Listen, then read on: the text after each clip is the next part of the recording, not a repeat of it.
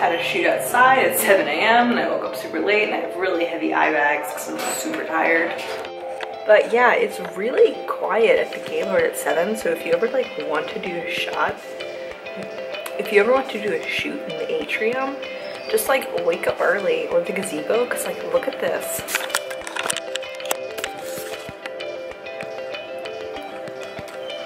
I have never seen it so empty. So I accidentally woke up an hour later than I was supposed to because I accidentally set my alarm for 7, which is when the shoot started. And I was supposed to get up at 6 and I just like my body happened to wake up at 6.50 because that's when I usually get up. And I was like, wait, my alarm never went off wait, oh my god, oh my god, I have to get changed in like 10 minutes. So I like quickly threw all of this on. I like put on eyeliner to like dabbed on concealer and I was like, I don't have time for anything else. Anyway, most of my day is gonna be caught up with cosplay chess, helping us get set up. We have to be there at noon. The thing doesn't start until one. And I'm there for like a good portion of the day. And then I have a panel in the evening and I'm going to a friend's panel as a late night panel after ours. So yeah, I'm gonna be in this for a little while just because it's super comfortable. I really like Golden Sun. I'm gonna redo my makeup so I don't look so dead inside. I'm also gonna have breakfast and like actually wash my face and like actually put on foundation. I guess I actually look pretty nice without foundation, but I think I need more concealer because oh my god, super tired. But yeah, so Katsucon day two.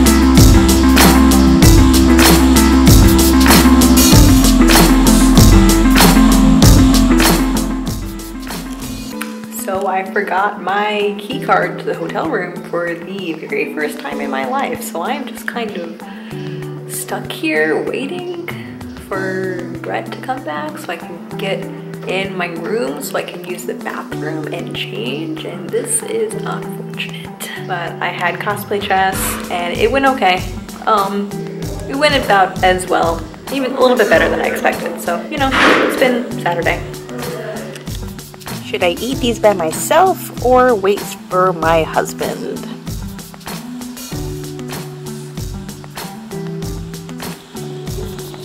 But really, who would like take a limousine here? Especially that. Not those people, apparently. no.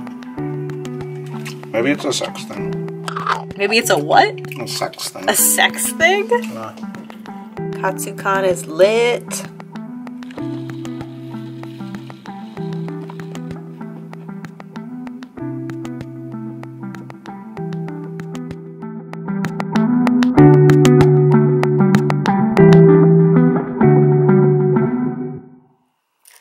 So Katsucon Day 2 ended up transitioning into a massive debilitating headache in which I ended up crying in my hotel room because it hurt so bad.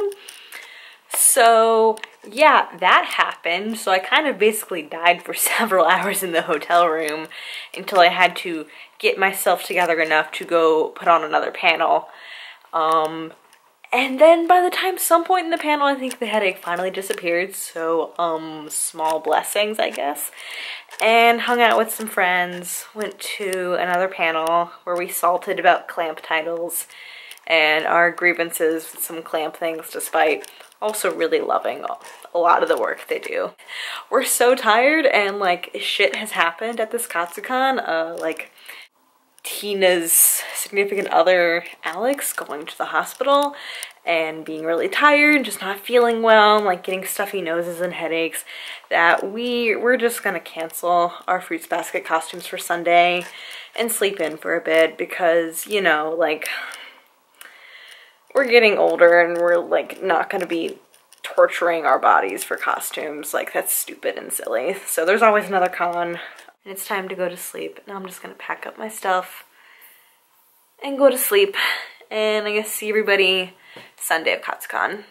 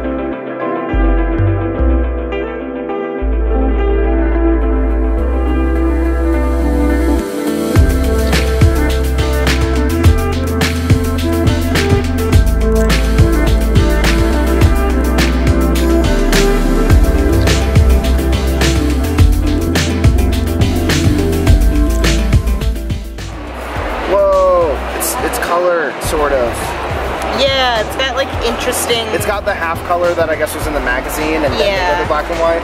Uh, but they're so pretty. They're very pretty. They're so pretty.